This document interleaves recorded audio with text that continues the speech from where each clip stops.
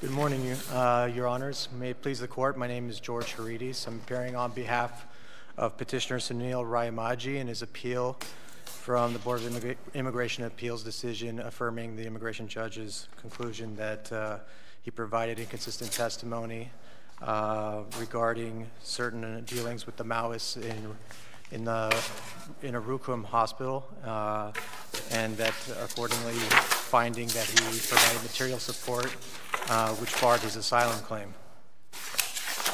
Uh, now, it's my understanding that the government will argue that the adverse credibility finding in this case uh, is, is moot. Uh, I, I, disagree with that because uh, it is my impression that the agency may have arrived at a different conclusion had his entire testimony be had the petitioner's testimony be accepted as true in its entirety. Now, uh, the immigration judge did arrive at a positive credibility finding regarding the persecution he suffered at, uh, at the hands of Maoist Nepal, but uh, issued a partial adverse credibility finding in this decision in, in, in her decision, and arguably also uh, in, issued an implied negative credibility finding regarding um, regarding the events that the event that occurred in 2009 at the at the taxi stand in Bogota. Counsel, could I could I uh, go directly since your time is limited? I'd like to ask you about the an issue that I, uh, concerns me about your position.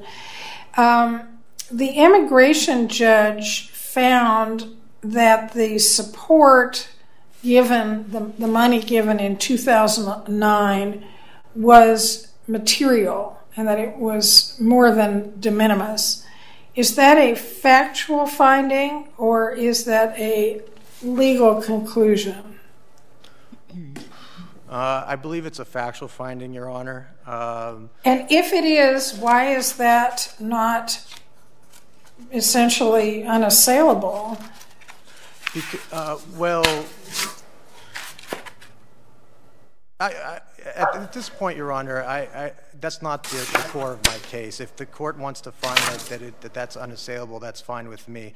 I, I, stress more the credibility finding in the sense that uh, of the coercion aspect of the case, um, whereas it appears in 2009 uh, that that that the petitioner testified. So if we, I just want to make sure I understand what you just said. If we agree, uh, uh we disagree with you on the credibility finding. Yes. Um, then you lose. You're abandoning your any argument about the de minimis issue? I would be focusing more on the coercion issue of, of the case, Your Honor, not, not the de minimis uh, uh, argument. Yes. Um, so in this case, if, uh, if we accept the, the petitioner's testimony is entirely credible, then the agency should be given yet another opportunity to decide whether or not the 2009 event, standing alone, uh, constitutes material support, because that has not been uh, uh, explicitly decided by the Board of Immigration Appeals. Uh, it, it, the Board of Immigration Appeals uh, sustained the appeal based on the, two, uh, the instances, including the, the, events that occurred in Rukum, at the Rukum Hospital. And uh, counsel, don't we lack jurisdiction to affirm on the basis of, or to deny the petition on the basis of the IJ's materiality finding because that was never reached by the BIA, that the BIA only decided the legal issue of it wouldn't matter whether it was material or not? Well, I think the, the uh, my understanding is that the board did reach that decision. Uh, if I could be mistaken, but um, let me see. But again, uh, again, again, the core of my position is that they did not reach uh, the, uh, a decision about whether or not the 2009 event standing alone uh, is material. Uh, and that's, uh, and I think that if the adverse credibility finding should be overturned, that is something that the board should assess explicitly. And as, as far as... As far as your duress argument, how is that argument um, colorable in view of our decision in Annachamy? I'm not sure how to pronounce that. Annachamy versus Holder? Uh, well, Your Honor, it, I, I, think that there has to be a distinction between uh, uh, essentially what, what occurred here in 2009 event as, as a criminal act where it would be unconscionable to, dis, to, to arrive at a finding of, of, of, um, of material support where, where there's uh, extreme coercion, where you know, the, there's a choice. Except, except, except we held in 2013, whether rightly or wrongly, that the bar for material support to a terrorist organization does not include an exception for providing support under duress. Now, I understand that you don't agree with that, but given that we're bound by it, how can you succeed on the duress argument? Well, I just think that the case here is distinguishable from that case, Your Honor. But, but, but, but, counsel, as Judge Graber said, the actual holding of Annachamy is exactly as Judge Graber read. There is no implied exception for individuals who assist organizations um, in, who provide support under duress. So whether, as Judge Graber said, that case was rightly or wrongly decided, uh, how is your argument that there is a duress exception colorable? I don't. I don't call it a duress exception as, as in terms of I'm distinguishing in terms of it's a it's a criminal act. I mean, I think it would be unconscionable to to, to find and, and, and given the 2013 case, it may be what it is. But it, in my legal argument is that there has to be a line drawn between uh, a criminal act which leads to what may appear to be material support versus you know a duress exception that is contemplated in that case. So what is well, the... They, they blindfolded that guy and, and essentially kidnapped him and forced him to, to assist them. So why wouldn't that be similarly a criminal act? And yet we held that it, there was no exception. Well, I mean, then that must be, then I don't agree with that decision. That's all I can say. Um, I would like to also, uh, if that's the core of the claim, then I'll, I'll defer the rest of my time for rebuttal. Thank you. Thank you, counsel.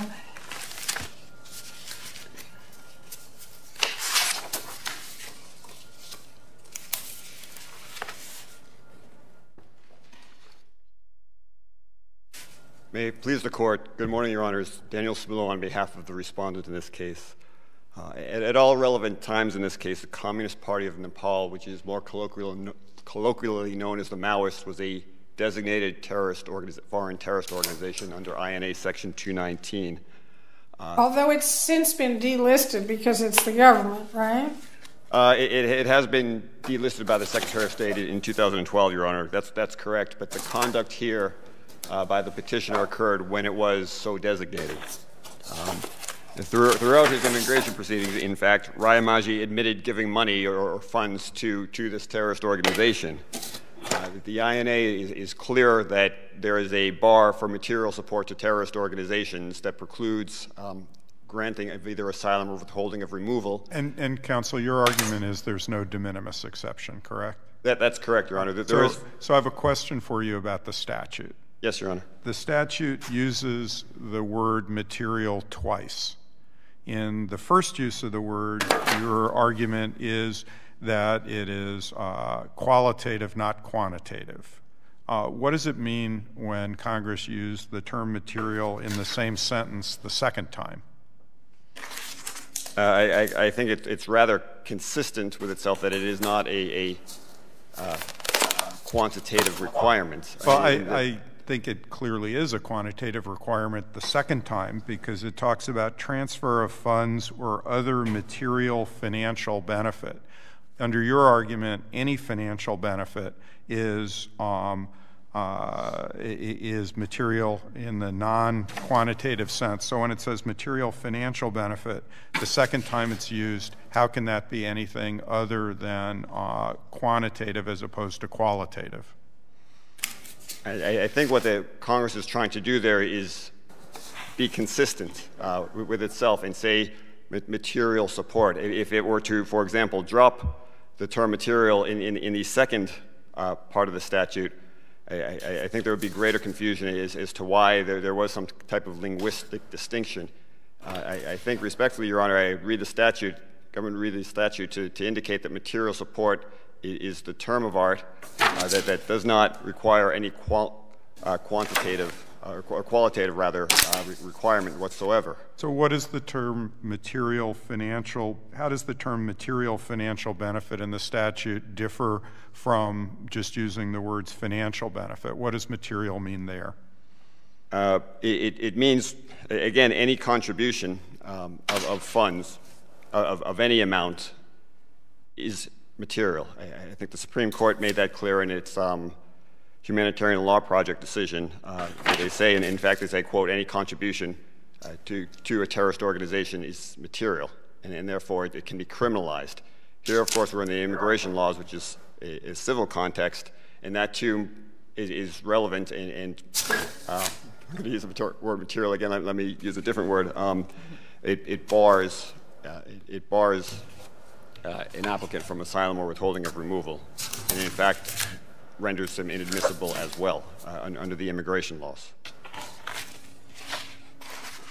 Your, Your Honors, the, the essential aspects of this case are, are this. Uh, e even if we were to set aside the, the adverse credibility finding with respect to his 2004 and 2005 contributions, he freely admitted that he gave money in 2009 to a Maoist at a taxi stand. It was approximately $30.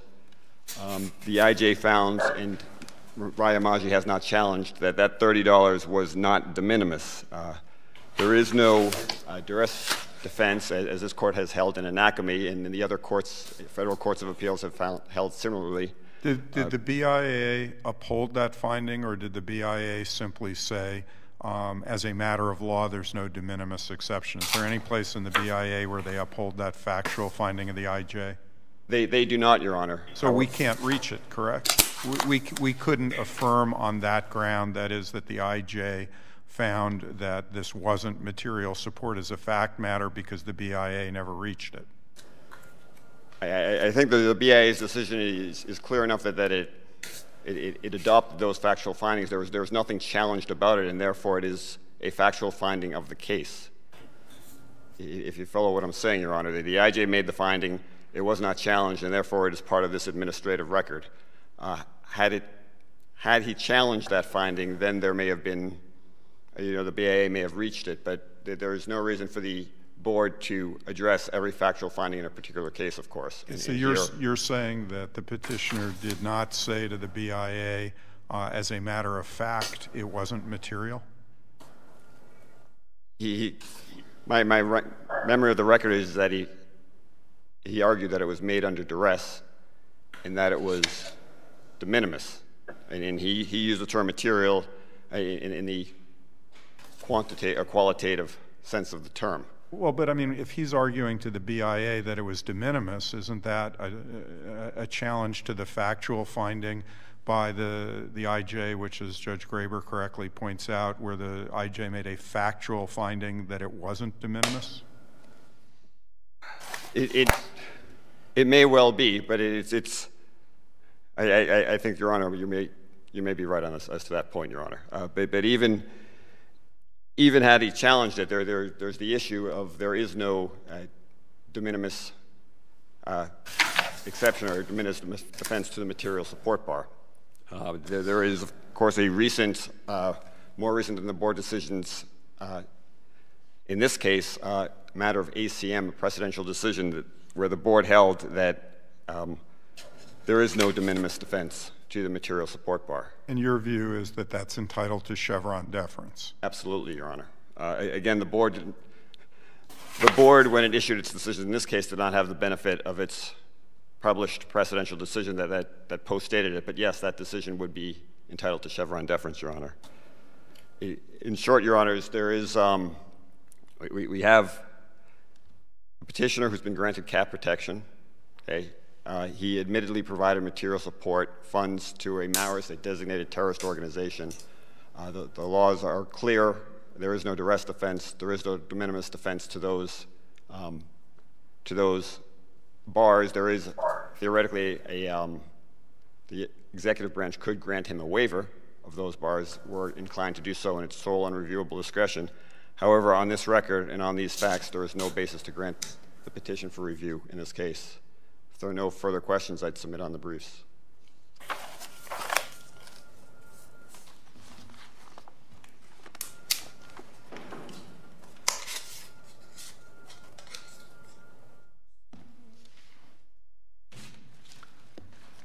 And the, uh, the Board of Immigration Appeals still has not touched the issue of whether or not the 2009 incident standing alone amounts to material support. We'd like it remanded on that basis, based on a faulty adverse credibility finding. And the adverse credibility finding is also important, in, even in the event that the agency uh, finds that the one incident in 2009 does, con- does constitute material support uh, and that no exceptions apply. A positive credibility finding will still have a positive impact uh, on the waiver claim that is not reviewable uh, after issued by the DHS. So it's very important that that one issue is that the issue of credibility be touched and and and, uh, and adjudicated in his favor because that is an important factor uh, as it relates to waivers.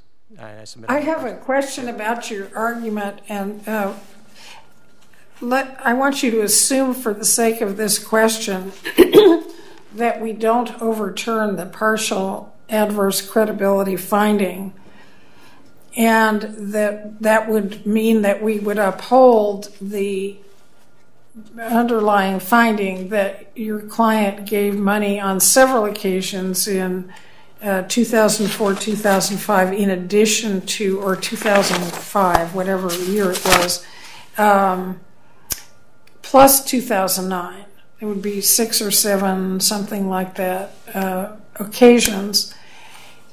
Is it your argument that if we were to consider all of those things together, it would still be de minimis?